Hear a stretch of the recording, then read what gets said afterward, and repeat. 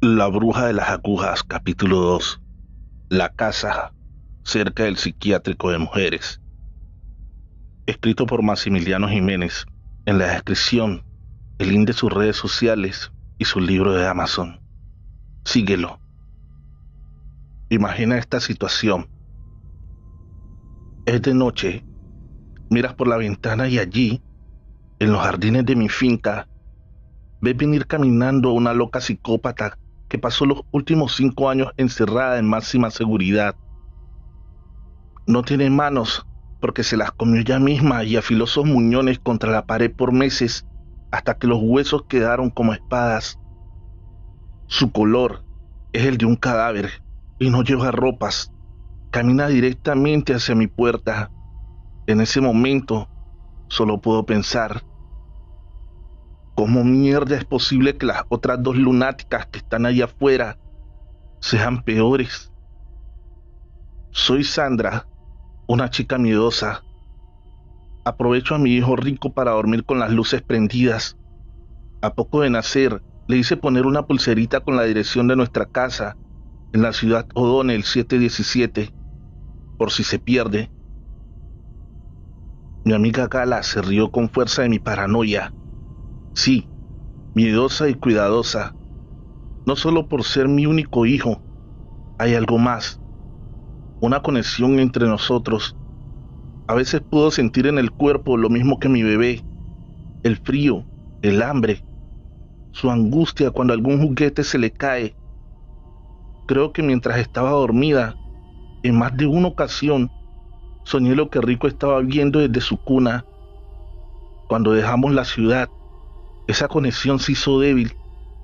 La promesa de un lugar sin tantos peligros, sin duda bajo mi guardia y me dio tranquilidad. Claro que si Lucas, mi amado marido, me hubiese contado antes de mudarnos al campo que nuestro vecino más próximo es un hotel psiquiátrico para mujeres peligrosas, hubiera dicho lo que todas hubiésemos dicho. ¿En qué demonios estabas pensando cuando compraste esta propiedad? Estúpido. Al principio me parecía un lugar sumamente aburrido. Extrañaba a mis amigas de la escuela. Había sido la primera de todas en casarme y ahora, después de dos años y un bebé, cambiamos nuestra vida en la ciudad y llegamos a Longfield. A la noche podía salir a la galería, sentarte y beber café. No había ruidos, nada se veía excepción de las tenues luces del edificio grande que se encontraba alejado por un estrecho camino de caballos. A 100 metros del límite de la finca había un cartel con forma de flecha que indicaba Hospital Open Door 4 kilómetros. Lucas me mintió durante medio año diciéndome que era un hospital militar. Quería dejarme tranquila ya que su trabajo como vendedor de granos lo hacía viajar a puerto y ausentarse una semana cada tanto. La verdad, me llegó de casualidad.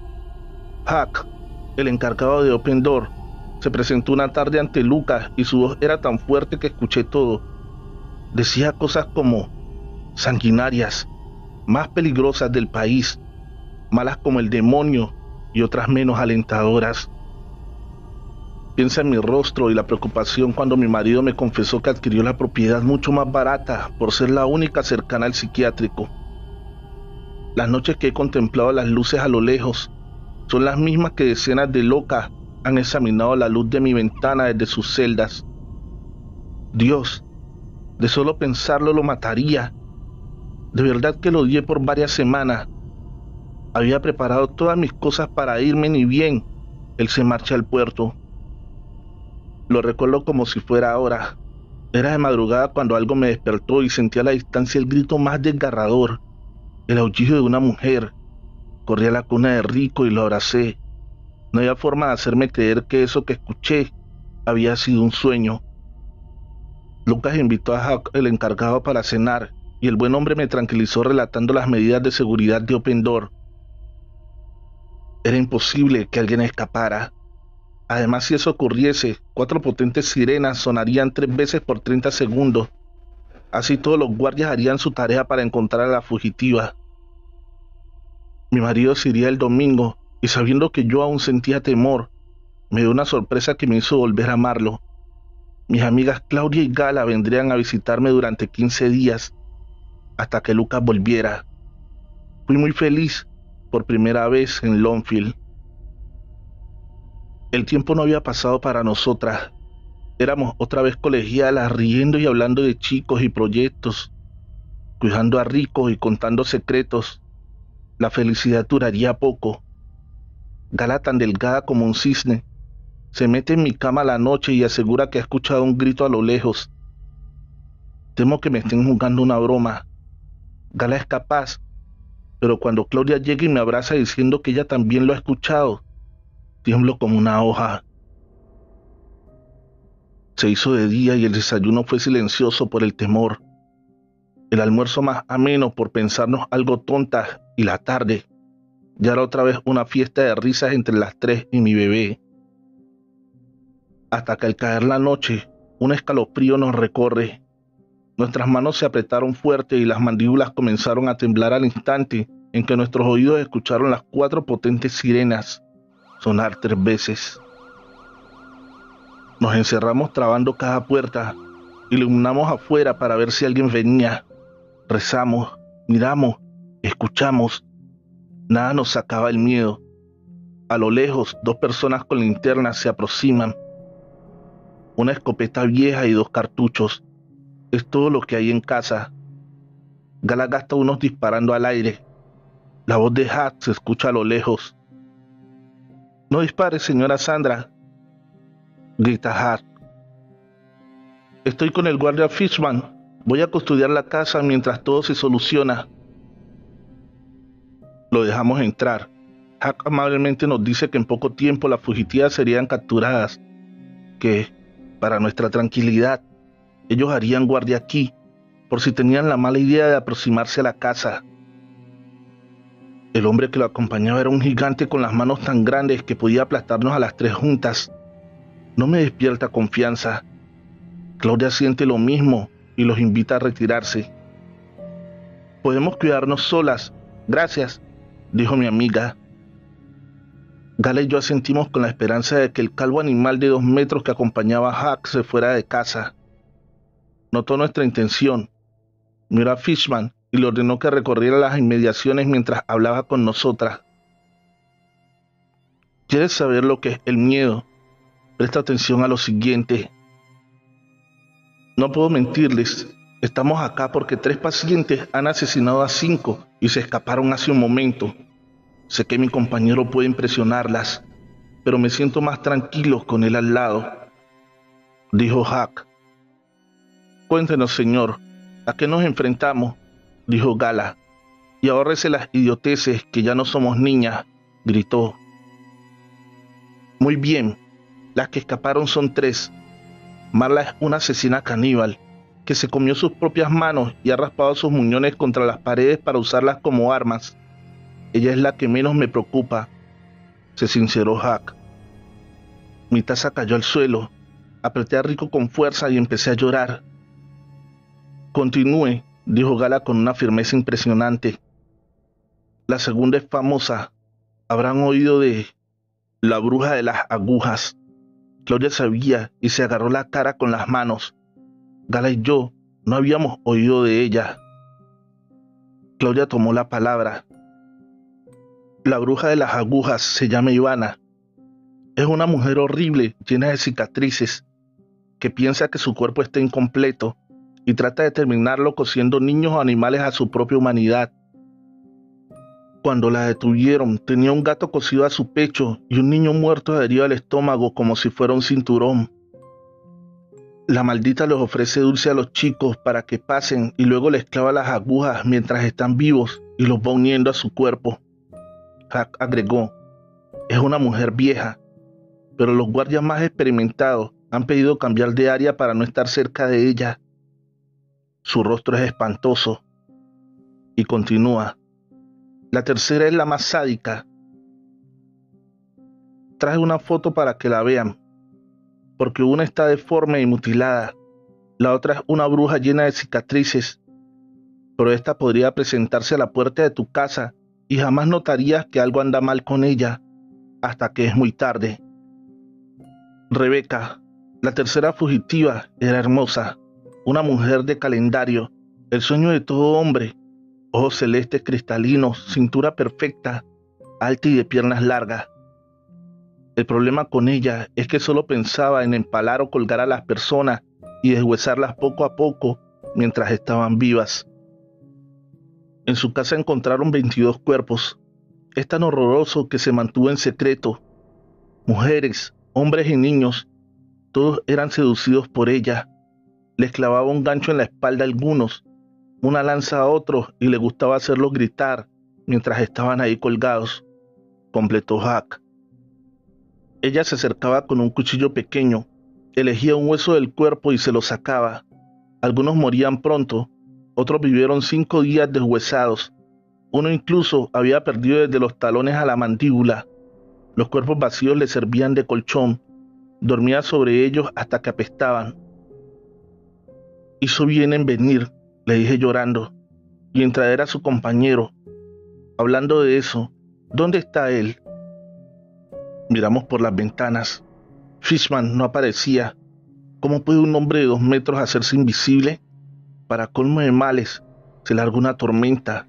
Los rayos iluminan el campo. Gala empieza a gritar señalando la ventana grande donde se ve Marla, la loca caníbal que viene caminando rápido hacia la casa por los jardines delanteros. Hack sale a su encuentro con la escopeta y le dispara de frente. La psicótica cruza sus huesos afilados frente a ella como escudo y si bien el tiro la hace caer, se levanta rápidamente y corre hacia los pastos altos. Gritamos de terror sin parar. El hombre entra y nos ordena que subamos al cuarto y cerremos la puerta. Vamos a los gritos. Rico llora y hacemos silencio para calmarlo. Desde la habitación se puede observar la finca entera. Vemos a Hack que sale nuevamente, esta vez con su revólver en la mano. Se escuchan dos disparos en los pastizales, luego uno más, Llora mi bebé. Un rayo ilumina el campo y vemos a Fishman atado al poste de la hamaca. Tiene una estaca atravesada en la espalda. Está vivo y patalea. A su lado Rebeca intenta cortarlo con una piedra filosa. No puede hacerlo. Se dirige entonces a la casa a buscar un cuchillo. Sentimos el golpe de la puerta y nos quedamos en silencio. Ella no nos ha visto. Se escucha abajo el ruido de cubiertos cayendo. Lloramos pero sin que logre oírnos. Rebeca sale con una cuchilla delgada y le destaja la boca a Fishman para oírlo gritar. Elige una de las costillas del guardia y entre alaridos se la saca del cuerpo. Luego va por el fémur largo del hombre. Los aullidos nos paralizan. De los pastos altos, herida por los disparos, sale Marla. Tiene la cabeza de Hat clavada en una de sus muñones y le está comiendo la nariz. Claudia y yo gritamos, la caníbal nos ubica con la mirada y comienza a caminar hacia la casa. Fishman sigue gritando desesperado. Rebeca descansa un rato y deja que se recupere. Luego empieza a cortarle la clavícula. Ya no vemos a Marla, pero escuchamos la puerta que se abre. Gala es valiente y usa el cajón de la mesa de luz como arma. Me pide que la acompañe, pero no puedo moverme. Abre la puerta y baja corriendo por las escaleras, gritando para darse valor. Marla la sorprende, le atraviesa el pubis con un hueso afilado y le muerde el cuello como un león rabioso. Gala murió al instante. La psicótica mutilada sube las escaleras hacia nosotras riendo, pero cae a la mitad. Los tiros de Hat la desangraron finalmente. Ya he perdido la voz. Cierro y trajo la puerta. Claudia me abraza a lo lejos veo tres luces, guardias seguramente. Estamos salvadas, pienso. Rebeca se concentra en Fishman, que ya casi no grita mientras lo corta. Una serie de rayos iluminan la escena y vemos con horror que Ivana, la bruja, está subida al árbol grande junto a la casa, mirándome directo a los ojos y con los brazos extendidos empieza a caminar por una rama hasta llegar al tejado. Cierro la ventana de golpe y la bruja asesina de niños apoya su cabeza en el vidrio y me grita, dame a ese bebé, voy a coserlo con cuidado, tú, solo dame a ese bebé. Dice esto todo el tiempo, y extiende las manos hacia Rico una y otra vez, chocando contra el vidrio. Se abre la camisa y tiene una rata cosida entre los pechos. Se la arranca con las uñas filosas y me la ofrenda. Te la cambio por tu bebé. Me dice, la falta de respuesta la enfurece. Yo no puedo hablar y Claudia tiene los ojos tapados. La bruja de las agujas golpea con fuerza la ventana para entrar. Claudia se asusta y grita por ayuda. Las tres linternas ya están cerca. Rebeca las nota en el camino. No está interesada en huir. Fishman es demasiado divertido. Se rompe la sucia prenda que la cubría y deja ver sus imponentes senos. Se acuesta en el césped y espera allí a los demás guardias. La bruja rompe el vidrio y entra. Con mi bebé en brazos corro escaleras abajo. Claudia no pudo. Ivana es horrorosa y huele a podrido. Tomó un vidrio de la ventana y empezó a cortar a mi amiga que se defiende unos segundos con patadas y gritos, pero luego se entrega aterrorizada. La maldita le desgarró el pecho con el cristal y las uñas. De los cubiertos que Rebeca dejó tirados, elijo dos cuchillos. Apoyo a Rico en la ventana de la cocina y lo protejo parándome delante de él. Mi hijito llora y yo con ambas armas en la mano espero a la bruja, que en segundos bajará las escaleras y querrá llevarse a mi hijo. Las tres linternas eran guardias armados. La belleza de Rebeca los confunde. Fishman está atado a un mar de sangre. La asesina logra clavarle el cuchillo en la cara a uno de los tres. Los otros dos lo ultiman a tiros. Su cuerpo desnudo y perfecto queda tirado bajo la lluvia. Siento el ruido de las escaleras. La loca arroja el cuerpo de mi amiga para engañarme mientras desciende por el árbol grande. Le ha resultado y muerdo el señuelo. Descuido a Rico un segundo, lo suficiente para que me lo robe por la ventana y corra hacia los pastos altos. Salgo desesperada, agitando los cuchillos en la dirección en la que escucho el llanto de mi pequeño.